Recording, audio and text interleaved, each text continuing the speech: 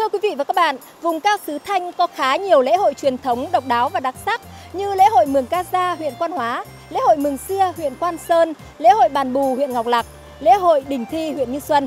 Ngày hôm nay, mời quý vị và các bạn cùng chúng tôi đến với xã Yên Thắng, huyện Lang Chánh để tham gia một lễ hội truyền thống đặc sắc không kém, đó là lễ hội Mường Đen.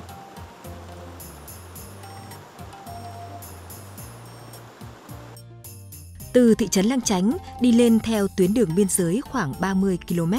chúng ta sẽ đến với xã Yên Thắng, vùng đất cổ của người Thái Đen Thanh Hóa và là nơi gắn liền với lễ hội Mường Đen.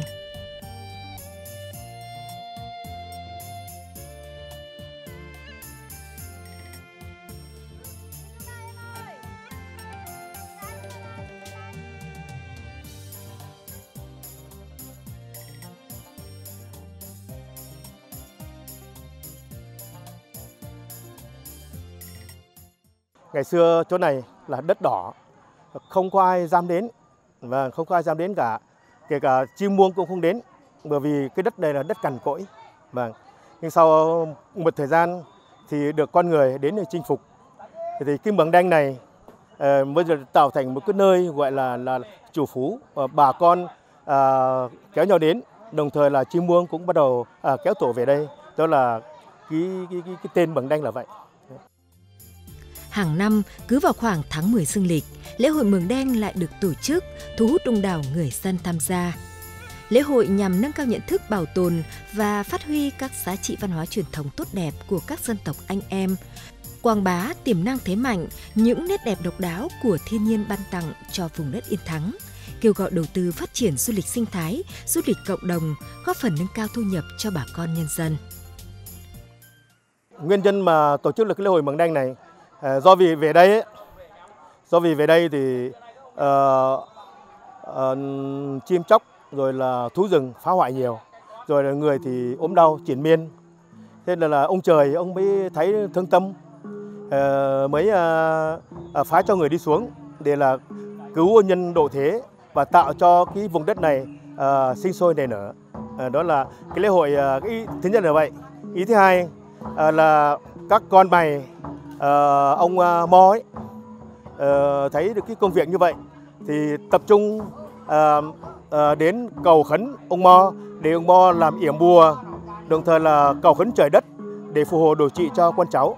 Điểm nổi bật khi về với lễ hội Mường Đen tại xã Yên Thắng là ngoài được hòa mình vào không gian của lễ hội với những trò chơi dân gian độc đáo, những hoạt động thể dục thể thao, thì du khách còn được trải nghiệm khám phá danh thắng ruộng bậc thang ở bản Peo, bản Ngàm Pốc. Được check in với những guồng nước bên cầu treo dọc suối Ngàm và được tìm về với những bản làng người Thái bên nếp nhà sàn truyền thống xinh đẹp ẩn hiện giữa núi rừng bao la.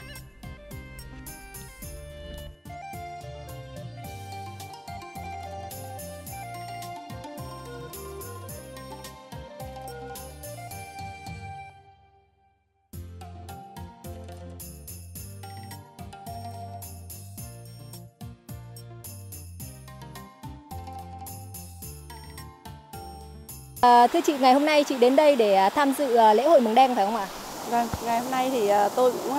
như mọi năm thì cứ đến dịp lễ hội Mường Đen thì tôi cũng cùng với bạn bè thì cũng đến thăm Mường Đen luôn. À, vậy thì chị biết được thông tin lễ hội Mường Đen được tổ chức từ đâu ạ?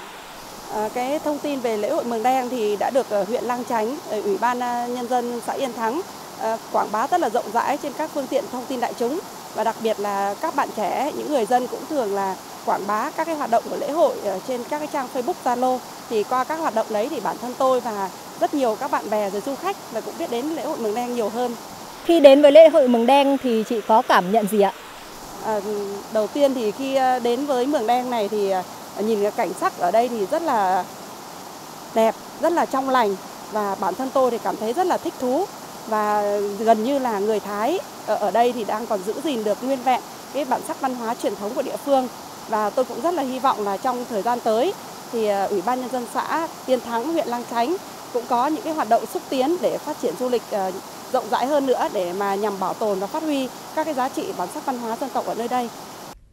Về với lễ hội vùng cao thì chắc chắn du khách không thể bỏ qua những gian hàng rực rỡ sắc màu, nơi trưng bày các sản phẩm truyền thống của bà con như thổ cẩm, mây che đan, nông sản và được thưởng thức văn hóa ẩm thực độc đáo của đồng bào Thái, nơi mảnh đất yên thắng.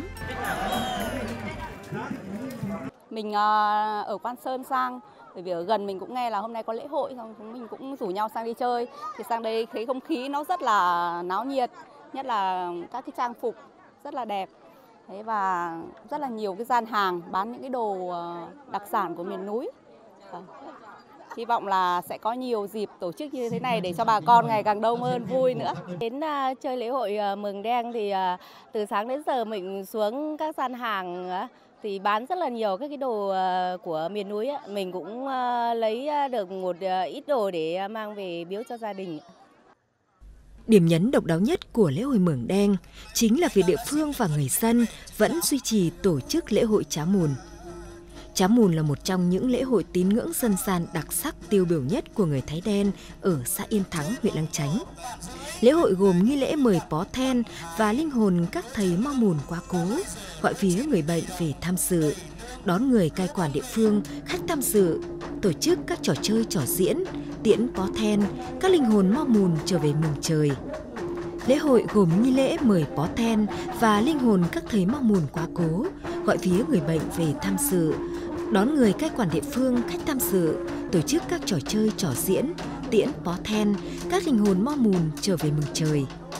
Lễ hội cháo Mùn được xem là cầu nối giữa người dân trong bản trong mừng đoàn kết, vui tươi, phấn khởi, thi đua sản xuất, xây dựng bản làng no ấm. Hàng chục năm về trước, do biến cố của lịch sử, lễ hội Chá Mùn bị lãng quên.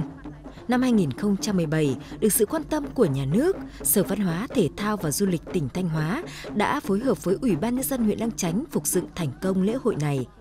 Năm 2018 đến nay, lễ hội Chá Mùn được phục dựng với quy mô cấp xã nhằm gìn giữ và phát huy giá trị văn hóa, tín ngưỡng dân gian tốt đẹp của người Thái. Với giá trị nhân văn sâu sắc, tháng 8 năm 2024, lễ hội Chá Mùn được Bộ Văn hóa, Thể thao và Du lịch đưa vào danh mục di sản văn hóa phi vật thể quốc gia, loại hình lễ hội truyền thống, tập quán xã hội và tín ngưỡng. Danh là quan trọng nhất là cái lễ hội Chá Mùn, cầu mưa thuận gió hòa, rồi cầu mong cho các con các cháu rồi thôn bản mạnh khỏe, tăng gia sản xuất được nhiều. Chúng tôi là những người thầy truyền lại cho các thế hệ mai sau để học để tiếp nối cái cái cái cái mong mùn này. Và bản thân em rất là vui khi mà được à, là con em của quê hương Mường Đen à, được tham gia lễ hội Chá Môn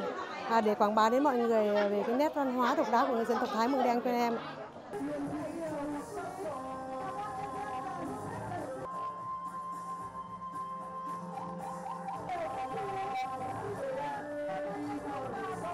Thưa quý vị và các bạn, hiện tại tôi đang được tham gia vòng xòe đêm lửa trại tại lễ hội Mường Đen. Hoạt động này thu hút đông đảo người dân đến tham gia. Trong không khí xe lạnh của tiết trời vùng cao, à, vòng xòe đêm lửa trại đã góp phần thắt chặt thêm tình đoàn kết giữa các dân tộc anh em. Lễ hội Mường Đen năm nay khép lại với những sự âm tốt đẹp, để lại những ấn tượng khó phai mờ đối với du khách và người dân vùng cao Yên Thắng.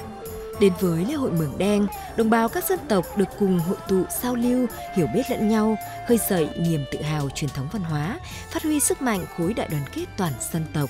Qua đó, có phần giáo dục ý thức trách nhiệm cho các thế hệ trẻ trong việc bảo vệ, gìn giữ và phát huy các giá trị văn hóa của đồng bào các dân tộc thiểu số.